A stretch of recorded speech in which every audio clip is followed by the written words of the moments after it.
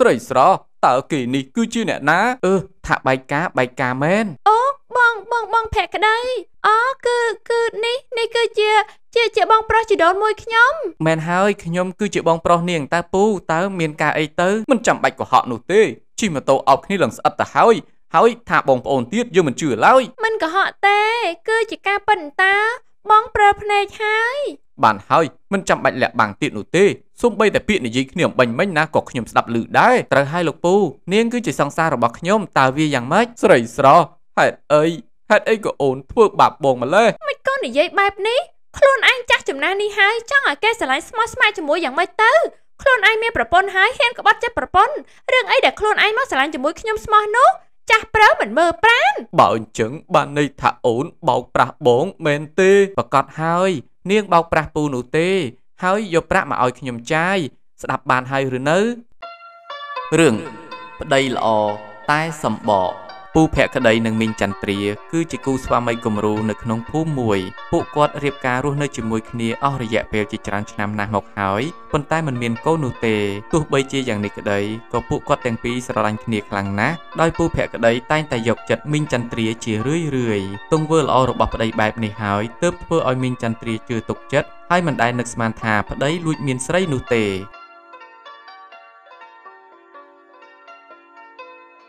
បងសំឡាញ់អូនអស់ប្រាក់ទិញលេទិញក្រែមម្សៅហើយ បងក៏តែឲ្យប្រាក់អូនឲ្យច្រើនបន្តិចទៅបានទេថាម៉េចអស់ប្រាក់ចាយទៀតហើយ បងទៅតែឲ្យម្សិលមិញសោះនឹងណា ប្រាក់ម្សៅមាញ់ងាប់ហើយឲ្យអូនតែ20ម៉ឺនទៅទិញស្អីគ្រាប់គ្រាន់តែលេមួយកំប៉ុងក៏ទិញមិនគ្រប់ផង ហើយចុះអូនឯងចាយច្រើនម្លេះមួយថ្ងៃ20 30ម៉ឺនតើបងទៅរកប្រាក់ឯណាតាន់ទៅខ្ញុំមិនដឹងខ្ញុំដឹងត្រឹមតែថ្ងៃនេះដាច់ខាតត្រូវតែបានប្រាក់បើមិនអញ្ចឹងទេបងឯងនឹងរឿងធំជាមួយអូនហើយឥឡូវអញ្ចេះតែចុះអូនឯងយក10ម៉ឺនសិនទៅ ហើយចាយឲ្យត្បិតត្បៀតផងណាព្រោះវាចុងខែហើយងាប់ហើយឲ្យម្ដង10ម៉ឺន20ម៉ឺនទៅទិញស្អីគ្រប់បងឯងបើគ្មានប្រាក់ទេកុំប្រាថ្នាចង់មកស្រឡាញ់ស្រីស្អាតអីដឹងទេថាស្រីស្អាតគឺចំណាយច្រើនខ្លាំងណាស់ ពិតជាគួរឲ្យធន់បងឯងនៅតែឲ្យប្រាក់ខ្ញុំតិចតិចទៀតខ្ញុំមកឈប់ស្រឡាញ់បងឯងទៅរកអ្នកណាអ្នកមានហើយអីយ៉ាអូនសម្លាញ់ណាពួកយើងស្រឡាញ់គ្នា6ខែទៅហើយអូនឯងកុំបែកពីបងអីតើបានទេការប៉ັດទៅបងឯងមានប្រពន្ធហើយខ្ញុំមិនគួរណាទៅស្រឡាញ់បងឯងនោះទេបងឯងច្បាស់ជាຕົកប្រាក់ច្រើននឹងឲ្យប្រពន្ធហើយឲ្យប្រាក់តិចតួចមកខ្ញុំជាមិនខានតើត្រូវអត់អត់ទេអូនសម្លាញ់អូនយល់ច្រឡំហើយ ត្បិតតបងមានប្រពន្ធក៏ពិតមែនប៉ុន្តែបងមិនដែលឲ្យប្រាក់នាងចាយច្រើននោះទេយ៉ាងច្រើន4 5ម៉ឺនសម្រាប់ទិញម្ហូបតែប៉ុណ្្នឹងឯងឲ្យតែប្រកាសថាបងឯងឲ្យប្រាក់ប្រពន្ធតែតិចតួចបើខ្ញុំដឹងថាឲ្យប្រពន្ធច្រើនជាងខ្ញុំបងឯងប្រកាសជារឿងធំបើមិនជឿទេសាកជាមួយមីកស្រស់សាកមើលទៅឥឡូវអញ្ចេះតែចុះបងឲ្យអូន30ម៉ឺនទៅចុះហើយកុំខឹងបងទៀតណាហើយចាយឲ្យដល់ដាច់ខែតែម្ដងទៅព្រោះបងអស់ប្រាក់រលីងពីខ្លួនទៅហើយបាន30ម៉ឺនក៏បាន វាគ្រាន់ជាង10ម៉ឺនដែរបើអញ្ចឹងឆាប់ឲ្យប្រាក់មកអូនមក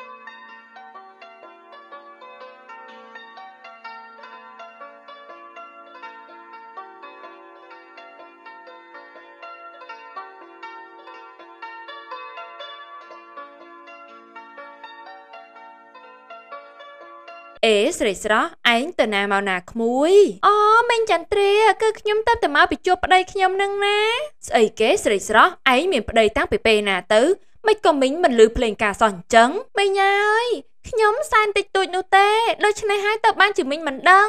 ស្ដាយណាស់ស្រីស្រស់អើយឯងស្អាតខ្លាំងណាស់មិនគួរណាមកសែនអញ្ចឹងនោះទេត្រូវហើយដោយសារតែគាត់មិនសូវមានប្រាក់ទៅបានជាពួកខ្ញុំរៀបចំសែនតិចតួចតែម្ដងទៅថាម៉េច នេះប្តីឯងមិនសូវមានប្រាក់ទេអីចាមិនខុសទេមីងមិនត្រឹមតែមិនសូវមានប្រាក់ទេថែមទាំងចាស់ទៀតផងរាល់ថ្ងៃឲ្យប្រាក់ខ្ញុំចាយតិចតិចជាទីបំផុតខ្ញុំខឹងខ្លាំងណាស់មីងអាណិតឯងដល់ហើយ ថាមីងទៅវាពិបាករៀបការជាមួយប្តីជាច្រើនឆ្នាំហើយមិនទាន់មានកូន តែយ៉ាងណាក៏នៅគ្រាន់ជាងឯងត្រង់ថាប្តីរបស់មីងស្រឡាញ់មីងខ្លាំងណាស់ ចំណែកឯប្រាក់វិញណាឲ្យមីងចាយមិនចេះខ្វះថាម៉េចប្តីរបស់មីងឲ្យប្រាក់មីងចាយច្រើនច្រើនមែនទេត្រូវហើយគាត់រកបានប្រមាណឲ្យមីងប៉ុណ្ណឹងហើយមីងចង់ទិញអីក៏បានដែរស្វាមីដែលល្អមីងស្រឡាញ់គាត់ខ្លាំងណាស់អើយអាកចាស់ភក្តីកុហកអញសិតតែគ្មានប្រាក់ទេឲ្យប្រពន្ធចាយតិចតួចតែតាមកពិតទៅប្រពន្ធវាចាយឡើងពេញពេញដៃចាំមើលណាអញនឹងទៅរករឿងឡាំប៉ាឯណានៃហើយអេស្រីស្រស់ នេះឯងកំពុងតែគិតអីហេតុអីក៏មើលទៅភ្លឹកភ្លឹកអញ្ចឹងអូគឺគឺគឺគ្មានអីទេមីងខ្ញុំកំពុងតែស្ងាយសរសើរនឹងចំណានមីងនឹងណាមីងសំណាងណាស់ដែលរកបានប្តីដែលល្អស្រឡាញ់មីងដល់ថ្នាក់នឹងបើសិនជាប្តីខ្ញុំស្រឡាញ់ខ្ញុំយកចិត្តទុកដាក់ដូចជាប្តីមីងដែរមិនដឹងជាល្អយ៉ាងណានោះទេ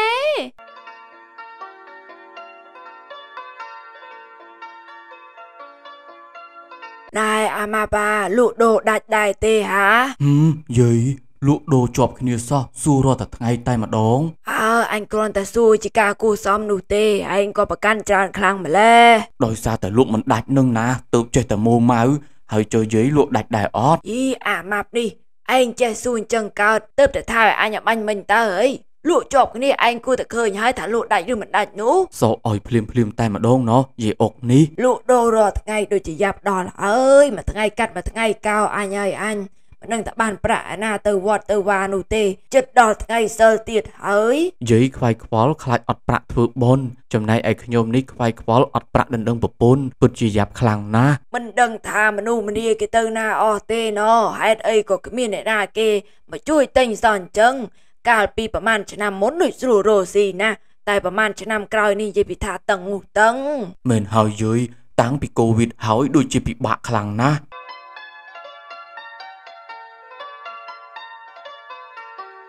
មីងអកអាម៉ាប់នេះអ្នកទាំងអស់គ្នាកំពុងតែនិយាយគ្នាអំពីរឿងអីសូមចូលរួមនិយាយផង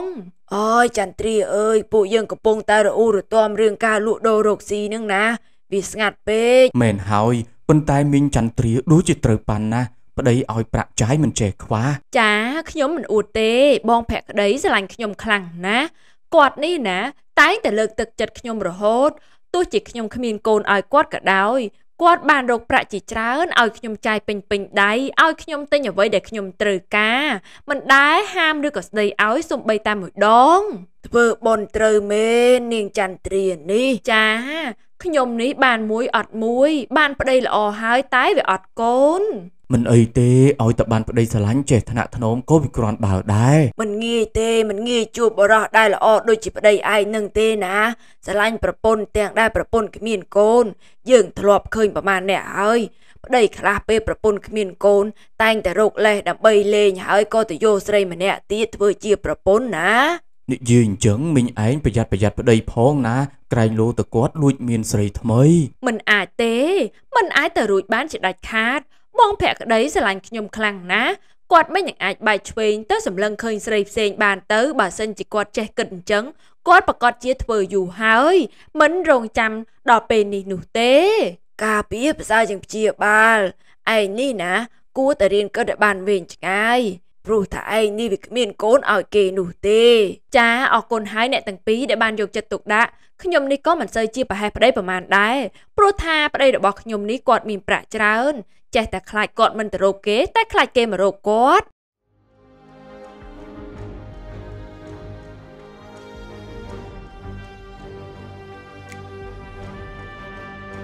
អើយជីវិតអើយជីវិតហេតុអីក៏ពិបាកវេទនាខ្លាំងយ៉ាងនេះកាលពីមុនមានប្រពន្ធមួយថាពិបាកព្រោះថាគ្មានកូនឥឡូវមានប្រពន្ធពីរហើយរឹតតែពិបាក ឥឡូវនេះកាន់តែវីវោហើយព្រោះថាប្រពន្ធចុងនោះទាប្រាក់ឥតឈប់នាងចាយធំខ្លាំងណាស់បើខ្ញុំចេះតែឲ្យនាងកាន់តែច្រើនទៅប្រកាសជាប៉ះពាល់ប្រាក់ប្រពន្ធដើមហើយមិនយូរនោះទេប្រពន្ធដើមប្រកាសជាដឹងតើខ្ញុំគួរធ្វើយ៉ាងណាទៅកាន់តែគិតកាន់តែស្មុគស្មាញតើខ្ញុំគួរតែរកមុខរបរអ្វីទៀតដើម្បីបន្ថែមចំណូលហើយទប់ទល់នឹងការចំណាយរបស់ប្រពន្ធចុង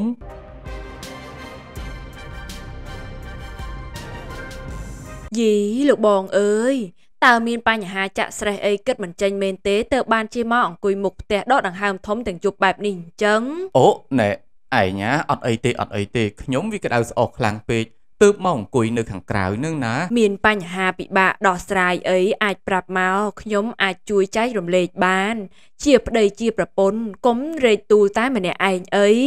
ថាអត់មានទេតើខ្ញុំទៅខ្វាយខ្វល់រឿងអីទៅឯងព្រោះនៅសពថ្ងៃគឺសុខសប្បាយខ្លាំងណាស់ប្រាក់ក៏មានចាយពេញដៃចំណែកឯប្រពន្ធក៏យល់ចិត្តទៀតខ្ញុំចេះតែស៊ូស៊ូទៅខ្ញុំខ្លាចក្រែងតែឯងនេះខ្វាយខ្វល់រឿងកូន ក្រែងលោត្រូវការកូនចង់បានកូនអីនោះអូខ្ញុំមិនទៅគិតរឿងនឹងទេឯង បើខ្ញុំចង់បានកូនណាខ្ញុំទៅសុំកូនគេយកមកចិញ្ចឹមហើយធ្វើអញ្ចឹងវាមិនចាំបាច់ឈឺក្បាលប៉ុន្តែឥឡូវនេះខ្ញុំវាមិនទាន់ចង់បានប៉ុន្តែពួកយើងកាន់តែចាស់ហើយខ្ញុំថាយល់ល្អគួរតែទៅរកកូនអ្នកណាគេមកចិញ្ចឹមទៅដឹង ដើម្បីកុំឲ្យយើងចាស់ជាងនេះត្រុតត្រោមទៅគ្មានអ្នកណាគេមើលថែមិនអីទេឯងគុំទាន់អារកកូនអ្នកណាមកចិញ្ចឹមអីចាំមួយរយៈទៀតសិនទៅព្រោះថាពេលនេះណាចំណាយក៏វាច្រើនដែរចំណាយច្រើន ចំណាយច្រើនអីទៅរាល់ថ្ងៃនេះខ្ញុំមិនសូវចាយនោះទេខ្ញុំមានតែប្រឹងសន្សំទុកអូអត់ទេខ្ញុំច្រឡំណាឯងខ្លាចក្រែងថាយើងចំណាយច្រើនវាខ្ជះខ្ជាយ យើងសន្សំទុកសិនទៅចាំយើងមានប្រាក់ច្រើនចាំយើងគិតគូររកកូនគេយកមកចិញ្ចឹមណាបើអញ្ចឹងតោះតោះលោកបង ឆាប់ចូលទៅសម្រាកទៅ នេះយប់ជ្រៅហើយ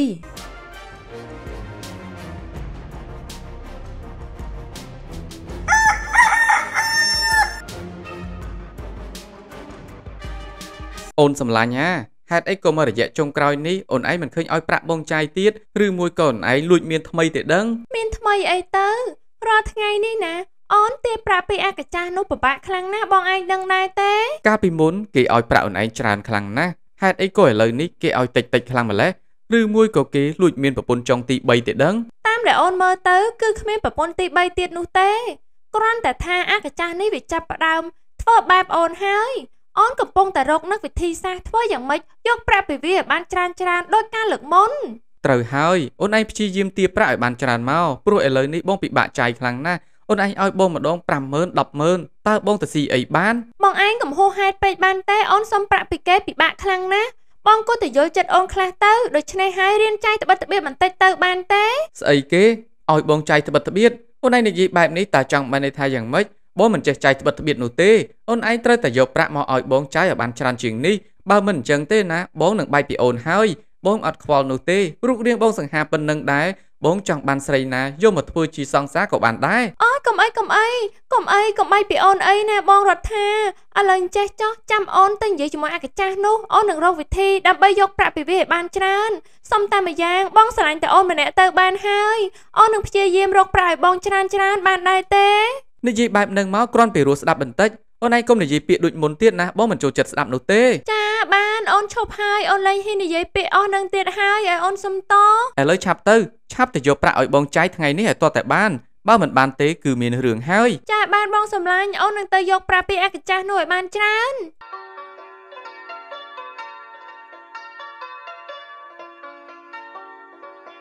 អីអាម៉ាប់អើយហើយចុះឯងមិនក៏មិនទៅលក់សាច់ជ្រូកថ្ងៃនេះកើតអីរវល់ទៅនឹងដឹងកូនគេមែនទេអីយីអុកអានៅឆ្លៀតនិយាយកំ pl ៃអញ្ចឹងទៀតមើលមុខខ្ញុំមើលស្លេកស្លាំងខ្លាំងណាស់ខ្ញុំឈឺពេញមួយថ្ងៃទៅហើយហានេះឯងឈឺមែនទេចុះឯងកើតអីទៅហាមិនដឹងទេយីអុកចេះតែល្ងាព្រឺល្ងាព្រឺ អញ្ចឹងហើយទើបមិនបានទៅលក់ដូរនឹងណាអើបើអញ្ចឹងបានទេបញ្ញាប់ទៅពេទ្យដើម្បីពិនិត្យឈាមមើលក្រែងលោគ្រុនឈាមព្រោះថាធ្លាក់ភ្លៀងអញ្ចឹងមូសខ្លាច្រើនណាស់បាទយាយចាំមើលរៀងរសៀលបន្តិចសិនចាំខ្ញុំទៅពិនិត្យឈាមកុំធ្វើប្រហែសអសោះណាអាចជំងឺគ្រុនឈាមនេះវាលឿនខ្លាំងណាស់បើសិនជាអាចគួរតែឆាប់ទៅពេទ្យកាន់តែឆាប់កាន់តែល្អបាទបាទយាយអុកខ្ញុំយល់ហើយ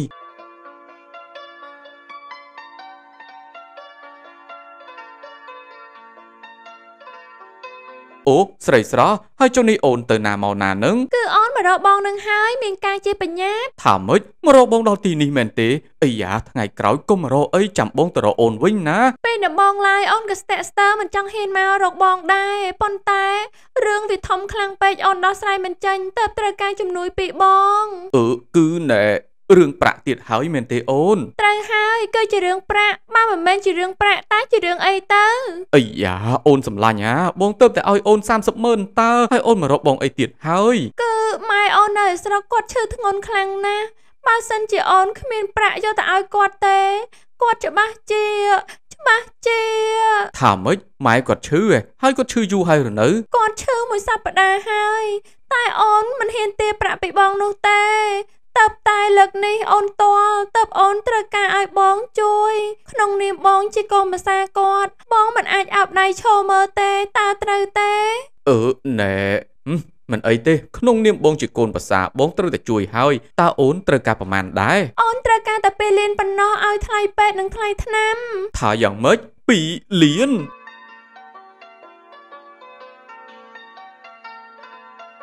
យីលោកប្តីថ្ងៃនេះទៅស្រែចម្ការយូរខ្លាំងម្ល៉េះចាំមើលគាត់មកវិញរកបបួលគាត់ទៅលេងម៉ែខានទៅលេងម៉ែប្រហែលថ្ងៃហើយនឹកគាត់ខ្លាំងណាស់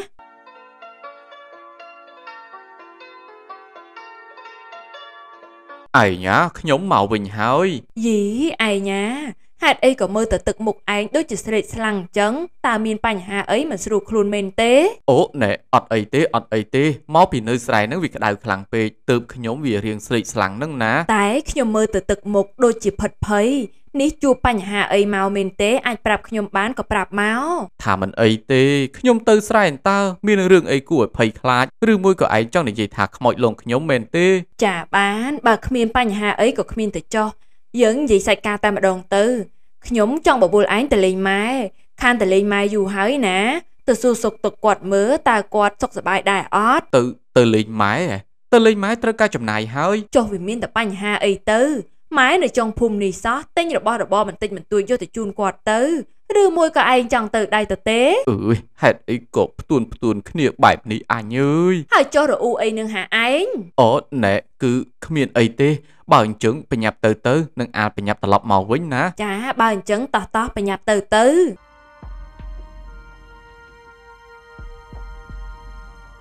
យ៉ាងម៉េចហើយអូនសំឡាញ់តើយកប្រាក់ពីតាកាចាស់នោះបានទេថៃមិនបានទៅ ស្រីស្រស់ទៅហើយនោះអាកចាស់នឹងគ្រាន់តែអូនកុហកបន្តិច វាធ្លាក់លុយបាន2លានឯណោះហាថាម៉េច2លានមែនទេបើអញ្ចឹងអូនឯងឲ្យបងទាំងអស់មកយេបងឯងយកទៅធ្វើអីច្រើនខ្លាំងម្ល៉េះបងឯងយកទៅតែពាក់កណ្ដាលទៅបានហើយបងឯងយកមួយលានអូនមួយលានបានបានបានបានមួយលានក៏បានដែរឲ្យតែបានកំពុងតែខ្វះប្រាក់ចាយផងអូនខំប្រឹងយកប្រាក់មកឲ្យបងហើយបងមិនគិតថាគួរធ្វើអីតបស្នងឲ្យអូនវិញទេអីតបស្នងឯងបើអញ្ចឹងបងថើបមកខ្សើទៅចុះហើយអត់ទេ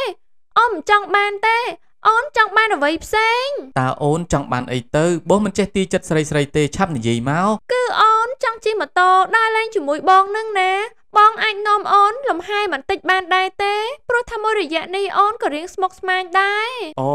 គ្រាន់តែរឿងប្រពន្ធនឹងសោះបានបានបានមកមកឡើងម៉ូតូមកប៉ុន្តែណែឲ្យប្រាក់បងឲ្យហើយមកបងឯងនេះខ្លាចតែអត់ប្រាក់មិនអីទេចាំអូនឲ្យបងឲ្យហើយចុះ កាហ្វេអើយកាហ្វេកាហ្វេស្មោះស្នេហ៍កាហ្វេស្មោះស្នេហ៍ផឹកមួយកែវថែមមួយកែវគិតប្រាក់ពីរកែវណា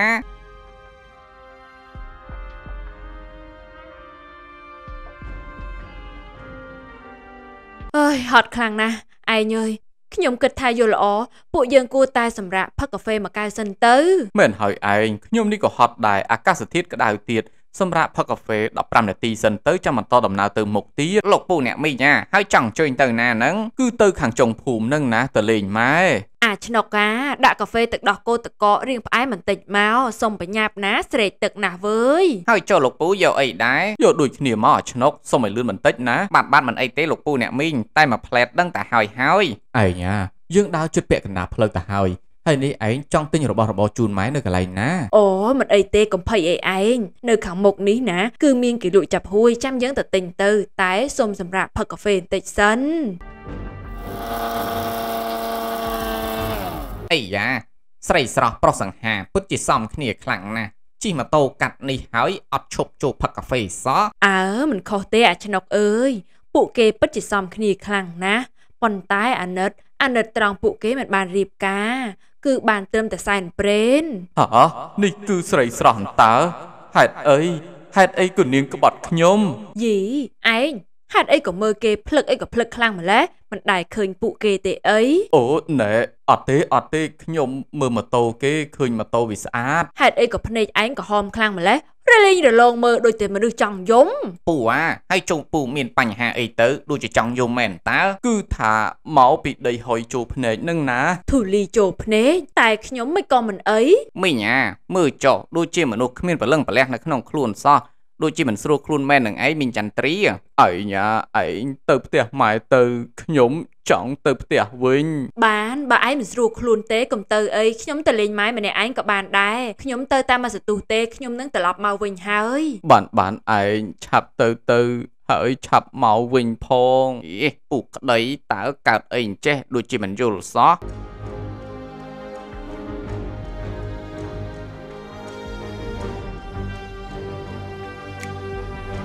សប្បាយសប្បាយខ្លាំងណាស់សប្បាយមែនតើដែលបានជិះម៉ូតូជាមួយនឹងមនុស្សដែលខ្លួនស្រឡាញ់អូនចង់មានពេលវេលាបែបនេះឲ្យច្រើនច្រើនណាបង បានមិនអីទេប៉ុន្តែបងមិនចង់ជិះក្បែរក្បែរនេះឡើយខ្លាចបែកការនឹងណាមិនងាយទេមិនងាយបែកការទេអាកាចាស់នោះរវល់ណាស់មួយថ្ងៃមួយថ្ងៃរវល់រកប្រាក់ចិញ្ចឹមអូនផងចិញ្ចឹមប្រពន្ធវាផងនោះអីបើសិនជាបែកការទៅយើងប្រកាសជាអស់ប្រាក់ចាយហើយតើអូនដឹងទេ បងកំភៃបើសិនជាបែកការ អូនមិនមែននៅស្ងៀមត្រឹមនឹងទេប្រកាសជាទៅរកអ្នកថ្មីហើយមិននឹងអាចបណ្ដោយឲ្យគ្មានប្រាក់ចាយទាំងអស់គ្នាទៅមែនហើយមែនហើយអូនឯងពិតជាឆ្លាតខ្លាំងណាស់ដើម្បីបងអូនអាចធ្វើបានគ្រប់បែបយ៉ាងពេលនេះបងដឹងហើយមែនទេថាស្រីស្រស់ស្រឡាញ់បងប៉ុណ្ណានោះបងពិតជាស្រឡាញ់អូនខ្លាំងណាស់អូនគឺជាមនុស្សស្រីតែម្នាក់គត់ដែលហ៊ានលះបង់ដើម្បីបងប្រកាសជាអញ្ចឹងហើយ ដើម្បីមនុស្សដែលខ្លួនស្រឡាញ់អូនលះបង់គ្រប់បែបយ៉ាងបានទាំងអស់ ស្រីស្រស់តើគេនេះគឺជាអ្នកណាអឺថាបែកការបែកការមែនអូបងបងបងភក្តីអូគឺគឺនេះនេះគឺជាជាជាបងប្រុសជីដូនមួយខ្ញុំមែនហើយខ្ញុំគឺជាបងប្រុសនាងតើពូតើមានការអីទៅមិនចាំបាច់កុហកនោះទេជិះម៉ូតូអោបគ្នាឡើងស្អិតទៅហើយហើយថាបងប្អូនទៀតយើងមិនជឿឡើយមិនកុហកទេ គឺជាការប៉ិនតា បងប្រើភ្នែកហើយ បានហើយមិនចាំបាច់លាក់បាំងទៀតនោះទេសូម្បីតែពាក្យនិយាយគ្នាអំបញ្ញមិញណាក៏ខ្ញុំស្ដាប់ឮដែរត្រូវហើយលោកពូនាងគឺជាសង្សាររបស់ខ្ញុំតើវាយ៉ាងម៉េចស្រីស្រស់ហេតុអីហេតុអីក៏អូនធ្វើបាបបងម្លេះមិនក៏និយាយបែបនេះខ្លួនឯងចាស់ចំណាស់នេះហើយចង់ឲ្យគេស្រឡាញ់ស្មោះស្ម័គ្រជាមួយយ៉ាងម៉េចទៅខ្លួនឯងមានប្រពន្ធហើយហ៊ានក្បត់ចិត្តប្រពន្ធរឿងអីដែលខ្លួនឯងមកស្រឡាញ់ជាមួយខ្ញុំស្មោះនោះចាស់ព្រើមិនមើលប្រាណបើអញ្ចឹងបានន័យថាអូនបោកប្រាស់បងមែនទេប្រកាសហើយ នាងបោកប្រាស់ពូនោះទេ ហើយយកប្រាក់មកឲ្យខ្ញុំចាយស្ដាប់បានហើយឬនៅគ្មានស្រីណាល្ងងស្រឡាញ់មនុស្សចាស់ជាងខ្លួននោះទេគេប្រកាសជាស្រឡាញ់មនុស្សប្រុសស្អាតហើយគឺគេគ្រាន់តែបោកប្រាស់តែប៉ុណ្ណោះកុំបន្ទោសអ្នកណាអីគួរតែបន្ទោសខ្លួនឯងដែលល្ងងខ្លៅគ្មានខួរគិតភ្លើមកជឿសម្ដីស្រីស្អាតសំគេបោកអញ្ចឹងចុះឈឺចាប់ឈឺចាប់ណាស់លោកអើយហេតុអីក៏អូនធ្វើបែបនេះអេ ដូចជាមិនសមទេ ប្តីកំពុងតែឈឺផងដើរចោលគាត់បែបនេះមិនកើតឡើយ គួរតែត្រឡប់ទៅផ្ទះវិញ ដើម្បីមើលថែគាត់វិញ ចាំពេលដែលគាត់ជាហើយចាំទៅលេងម៉ែទាំងអស់គ្នា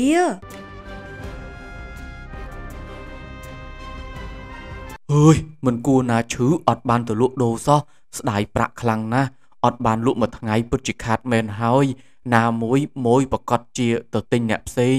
ពេលនោះខ្ញុំប្រកាសជាអស់ម៉ួយជាមិនខាននោះទេមិនបានទេ ស្អែកនេះទោះបីជាយ៉ាងណាក៏ដោយខ្ញុំក៏ត្រូវតែទៅលក់ដែរមិនអាចមិនលក់បានឡើយ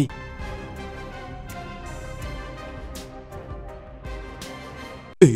ពូភក្តីហេតុអីក៏មុខស្លេកស្លាំងខ្លាំងម្លេះហើយមើលតែភ្នែកចុះ ឡើងក្រហមទៀតដូចជាទៅតែយំមែនទេអញនេះពិបាកចិត្តណាស់អាម៉ាប់អើយដូចមេឃរលំភ្នំរលាយអញ្ចឹងឯងតើបញ្ហាអីទៅពូឬមួយក៏មីងចន្ទ្រារត់ចោលអើយអាកំម៉ាប់ប្រពន្ធអញឯណារត់ចោលនោះរស់នៅជាមួយគ្នាជិត20ឆ្នាំទៅហើយនាងមិនរត់ចោលអញនោះទេ អ្នកដែលរត់ចោលអញនោះគឺអ្នកផ្សេងហាបានន័យថាពូមានស្រី អូច្រឡំជ្រុលមាត់និយាយបាត់ទៅហើយលោកពូអា គេគ្រប់គ្នាសរសើរថាពូល្អខ្លាំងណាស់តែមិននឹកស្មានថាលោកពូមានស្រីបែបនេះសោះអើអាម៉ាប់អើយបានឯងដឹងទៅហើយយើងប្រាប់បន្ថែមទៅចុះ